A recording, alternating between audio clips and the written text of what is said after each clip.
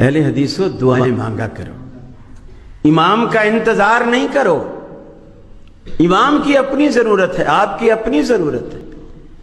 आप अपनी ज़रूरत के तहत दुआ मांगो।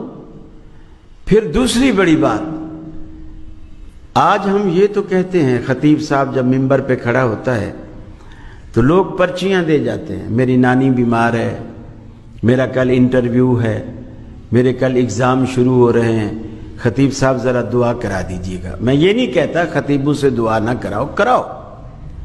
लेकिन पूरे हदीस के जखीरे में एक रिवायत भी ऐसी नहीं मिलती कि इमाम मस्जिद की या खतीब मस्जिद की दुआ अल्लाह रद्द नहीं करता। एक रिवायत भी नहीं है।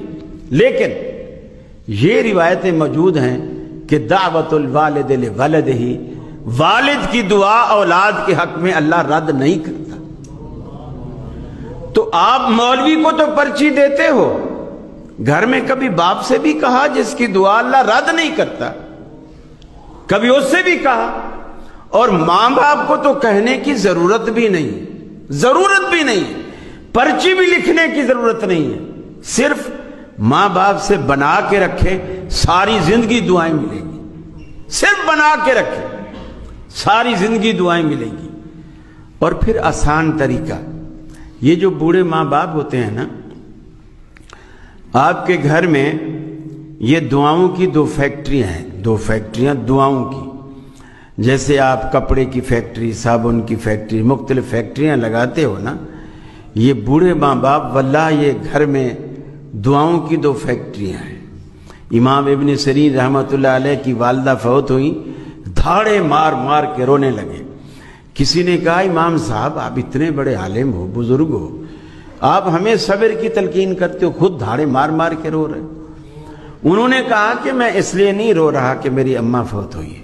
मैं इसलिए रो रहा हूँ कि अल्लाह ताला ने मेरे लिए जन्नत में जाने के दो दरवाजे खोले थे, माँ की शक्ल में और बाप की शक्ल में। उसमें से आज एक दरवाज़ा बंद हो गया है।